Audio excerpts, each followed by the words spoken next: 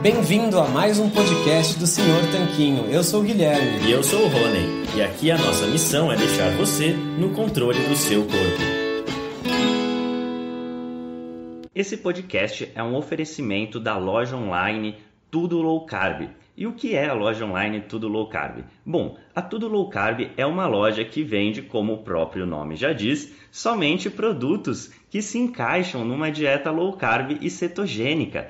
Lá você vai encontrar de tudo, desde farinhas, farinhas de amêndoa, farinha de amendoim, farinha de coco, farinha de linhaça, adoçantes, xilitol, eritritol, estévia, dentre muitos outros temperos e produtos naturais feitos com comida de verdade. O mais legal é que a gente conhece a dona, é a Eliana, a gente já até entrevistou aqui no podcast, e a Eliana nos garantiu que ela está sempre procurando na internet para garantir que a Tudo Low Carb tenha os melhores preços dos adoçantes xilitol, eritritol e da farinha de amêndoa, que segundo a gente são os ingredientes mais importantes se você quer fazer receitas low carb. Então, se esse é seu caso, se você quer comprar xilitol, eritritol e farinha de amêndoas com o melhor preço da internet, é só você acessar tudolowcarb.com.br, porque lá é garantido que você vai encontrar. E você pode aproveitar para comprar diversos outros produtos low carb com qualidade. Este podcast também é um oferecimento do Aikito. E o que é o, o?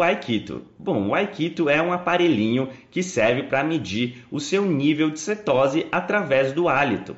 Bom, a gente achou muito interessante esse aparelho porque você pode saber o seu nível de cetose sem ter que furar o seu dedo ou fazer um exame de sangue para isso. É um aparelho realmente revolucionário no mercado e o mais legal é que ele é uma tecnologia 100% brasileira. O Iago, que foi o seu criador, entrou em contato com a gente e a gente achou super legal divulgar essa iniciativa. E é por isso que hoje o Aikito é um dos patrocinadores aqui do podcast. A gente recomenda que você conheça esse aparelho se a sua intenção é saber o seu nível de cetose. É só acessar o Aikito, que é u a i k e ele tem esse nome porque, além de ser brasileiro, ele é mineiro, então nada melhor que um trocadilho, o Aikito. Fala Tanquinho e Tanquinha, esse podcast está sendo oferecido a você por nós. Isso, por mim e pelo Rony e pelo nosso programa Guia Dieta Cetogênica. O Guia Dieta Cetogênica é um curso em vídeo com todas as informações passo a passo para você seguir uma dieta cetogênica de sucesso. E como bônus para você que escuta os nossos podcasts, a gente colocou dentro do programa, na área de membros especial, todos os nossos produtos já publicados até hoje. Então, são dezenas de livros de receitas, são centenas de receitas, tem também o nosso livro de texto e teoria, né, das 120 dúvidas sobre alimentação saudável respondidas, que foi elogiado inclusive pelo Dr. Souto, pelo Rodrigo Bomeni, pelo Danilo Balu e por vários e vários convidados que já passaram pelo nosso podcast.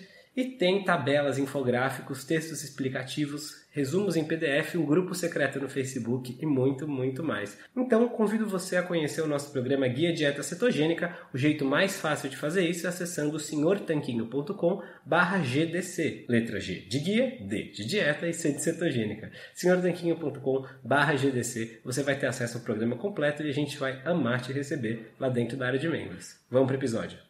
Fala Tanquinho e Tanquinha. O áudio que você vai ouvir aqui foi extraído de um vídeo do nosso canal do YouTube. Então, se a gente mencionar esse vídeo, outro vídeo, essas coisas, você já sabe por quê. Agora, se você não acompanha o nosso canal do YouTube, está perdendo também.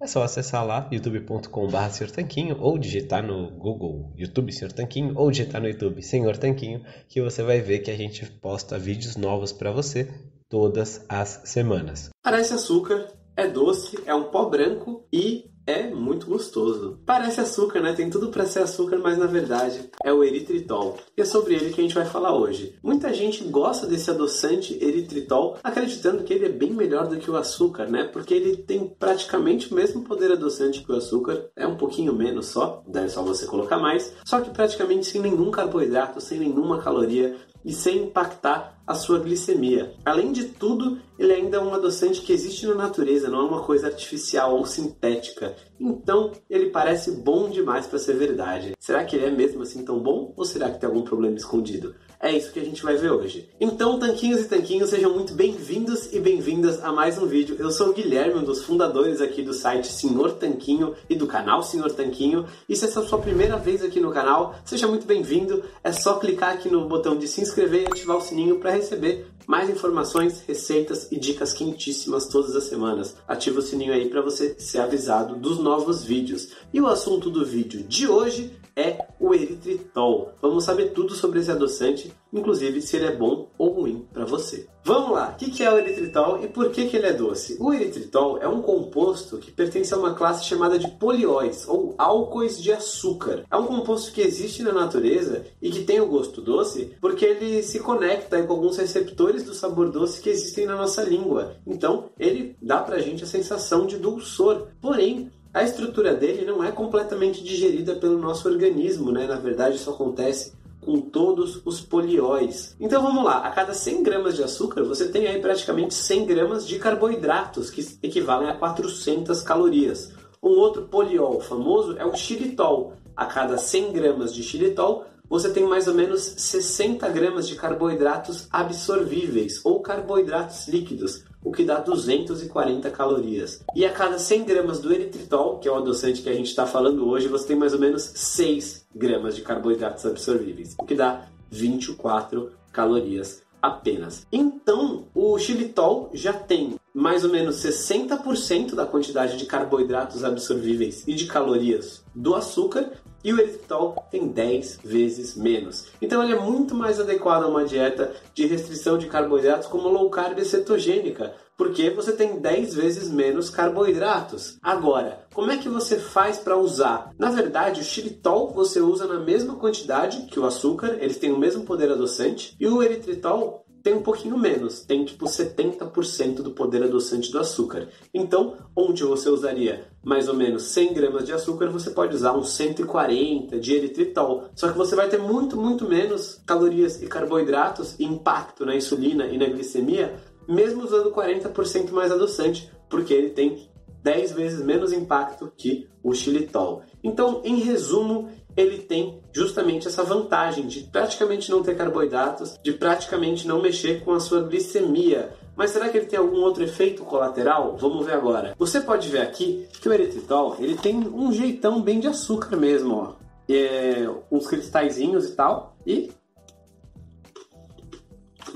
super dá para comer puro. O que acontece quando você come uma colherada dessas, igual eu fiz agora? Bom, com a sua insulina e a sua glicemia, praticamente nada. Justamente porque o nosso corpo não possui as enzimas necessárias para quebrar o eritritol em moléculas menores que a gente possa absorver e gerar energia. Então, o que vai acabar acontecendo é que ele vai sair praticamente inalterado, praticamente como ele mesmo entrou.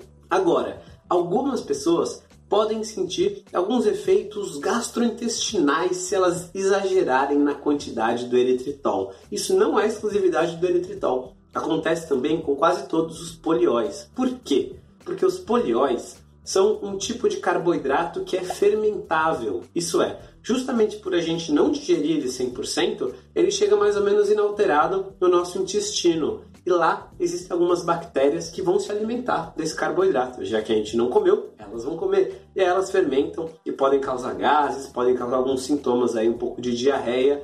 Agora, essa é a notícia ruim. Se você tem sensibilidade a FODMAPs, que é um tipo de carboidrato fermentável, e se você quer saber sobre isso, comenta FODMAPs aqui, que eu mando um vídeo sobre isso que eu gravei. Se você tem sensibilidade aos FODMAPs, aí não vai ser muito bom você consumir eritritol, é o lado ruim. Agora, o lado bom é que dentre todos os polióis que existem, esse é um dos mais inertes. Ou seja, ele tende a causar muito menos reações e sintomas do que o xilitol, por exemplo. Então, você consegue utilizar esse para fazer receitinhas, docinhos, igual é um jeito normal de se consumir, né? Não é normal fazer igual eu fiz agora e comer uma colherada aqui disso puro. É, e você consegue isso sem ter nenhum efeito colateral e sem acrescentar muitos carboidratos na sua dieta. Você vai ver explorando os vídeos aqui do canal e lembra de deixar seu like nesse vídeo depois de olhar os outros vídeos que a gente fez, tem muita receita aqui, que em várias das receitas doces você vai observar, a gente usa o eritritol como adoçante, porque ele realmente quase não tem carboidratos e pode ser consumido por quem faz uma dieta low carb ou cetogênica. Outra vantagem do eritritol comparado especialmente com o açúcar é que ele não causa cáries, né? Ele não é cariogênico. Enquanto o açúcar está super associado à aparição de cavidades e cáries e problemas bucais, o xilitol protege contra elas e o eritritol parece ser novamente mais ou menos inerte. Então, ele não parece piorar nem causar nenhum tipo de cáries, também não parece proteger. Mas então ele não tem efeito na insulina, não tem efeito na glicemia praticamente, né?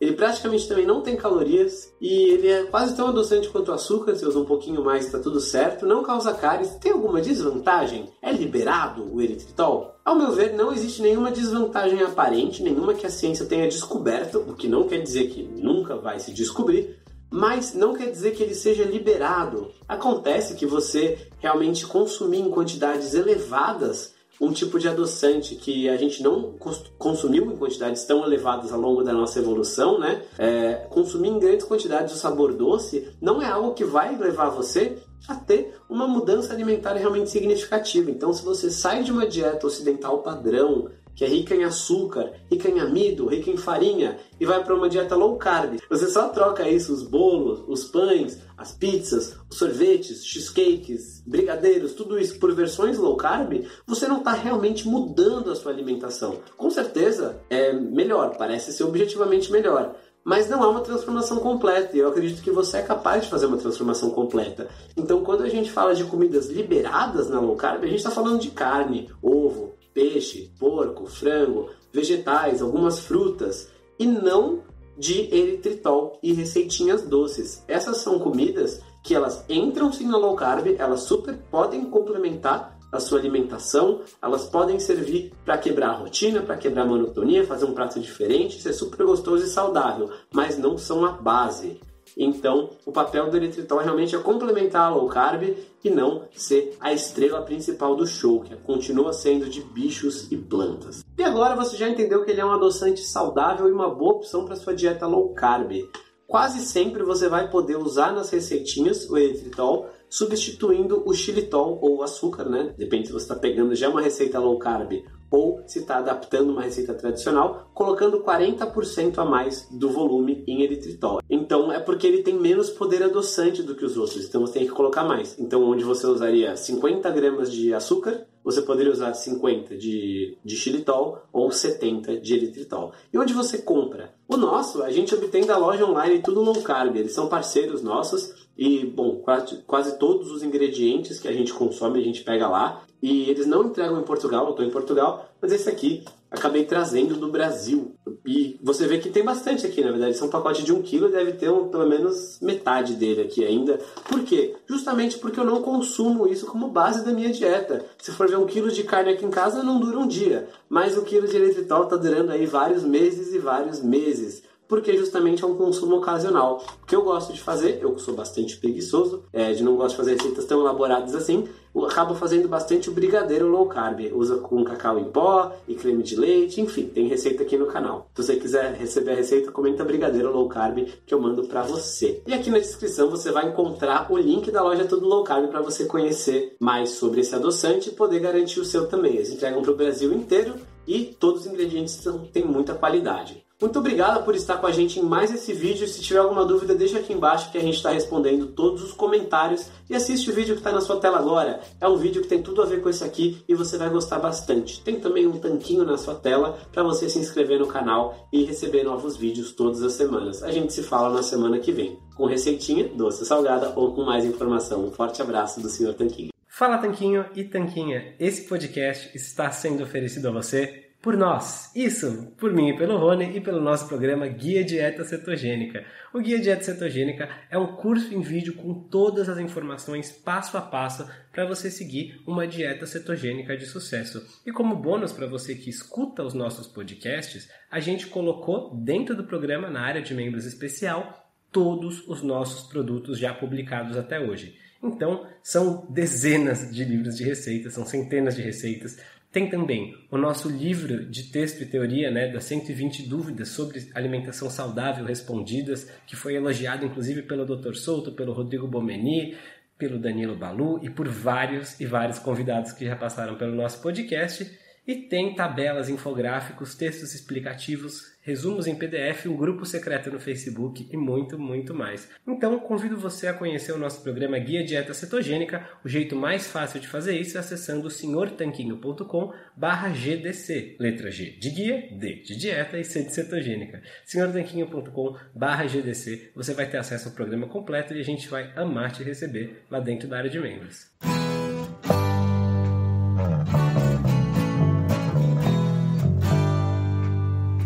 Você acabou de ouvir mais um episódio do podcast do Senhor Tanquinho.